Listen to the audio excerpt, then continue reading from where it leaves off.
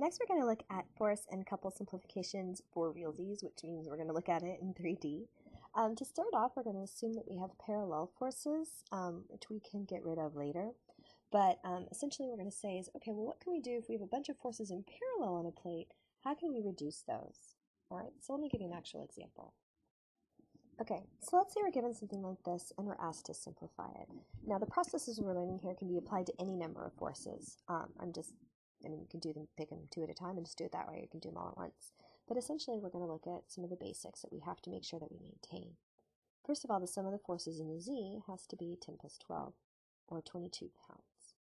Now, if I'm doing the moment, um, the x component of the moment about O, or I can say the moment about the x-axis. The moment about the x-axis um, is going to be that 12 pounds times the 4, and that's going to be positive. So that's going to be 48 foot-pounds.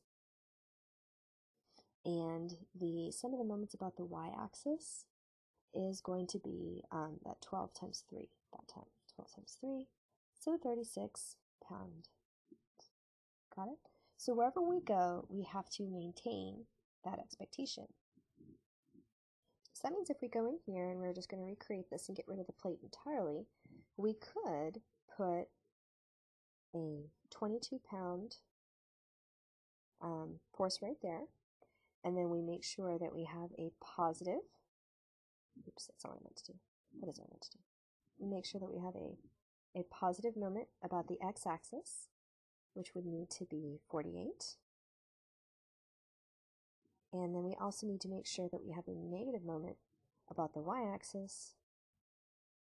So we point it backwards to show that it's negative, and that's going to be 36 pound feet.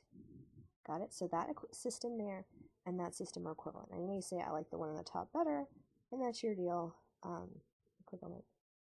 But these two are equivalent systems. Okay?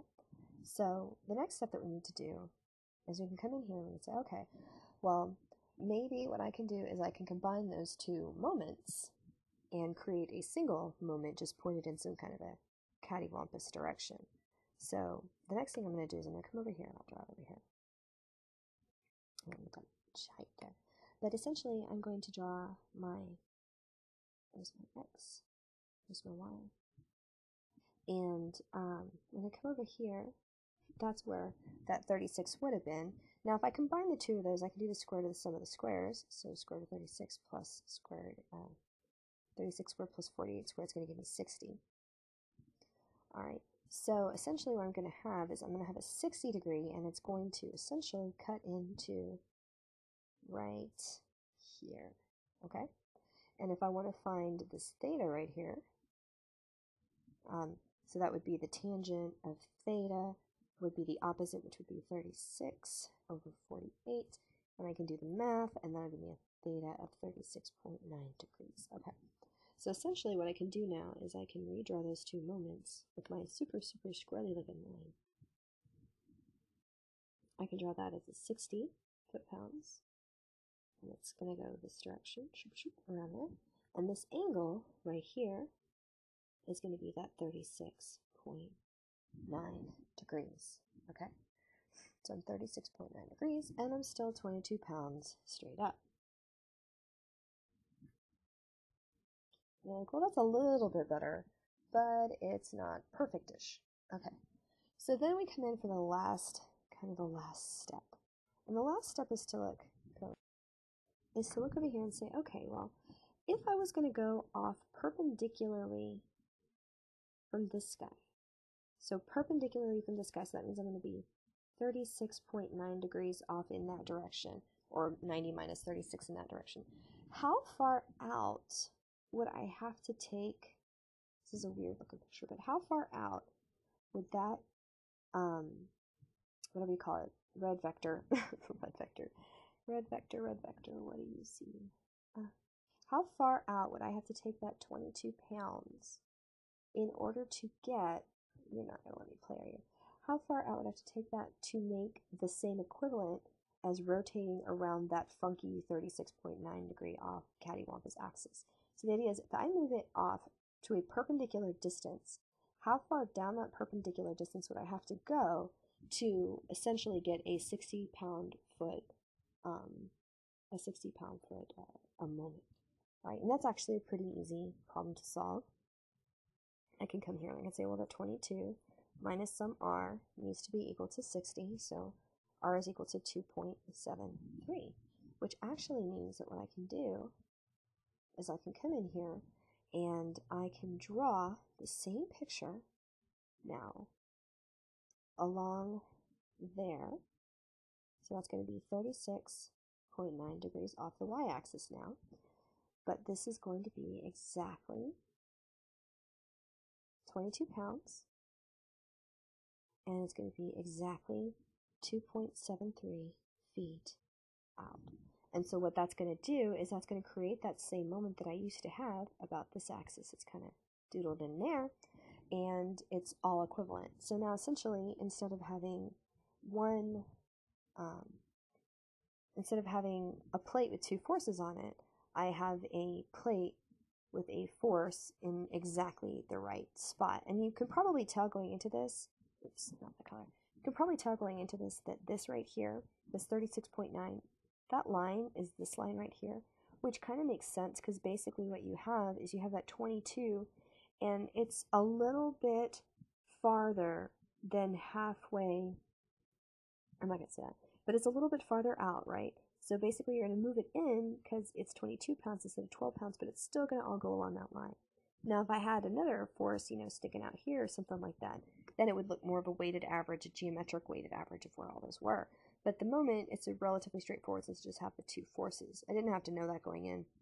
But essentially, you're getting the same things. I'm just moving that force along that line until I get the same net effect of having that wonderful, um, of having that, that wonderful moment being created. So um, there's no moment necessary. It's just a specific force at a particular location. Um, and um, yeah, it's it's pretty cool to have it work out this way. It's just a lot easier to deal with. So there is a way that we can make this even crazier, which is called reduction to a wrench. So the idea is if you have like a flat plate or something like that, and you have some kind of a force going off in this direction, and you have some kind of moment um, going off in some other direction. Um, well, since you can move the moments about as long as you keep their orientation the same, I could theoretically move the force and the moment there. Just pretend the force stayed in the same place and I move the moment. Since this is a pretty generic drawing, it's hard to tell. Now, um, in the previous example, we were able to do some things because F and um, M were perpendicular, but since they're not, um, since it's not perpendicular, we have to do some things. Okay, so um, we would resolve, first of all, the moment into components that were both parallel and perpendicular to the force. So anything that's parallel with the force can just move with the force as the force goes around. And then the perpendicular moment is the one that we've got to kind of pay attention to. Um, so we have the, the force and the parallel component and then the perpendicular component there.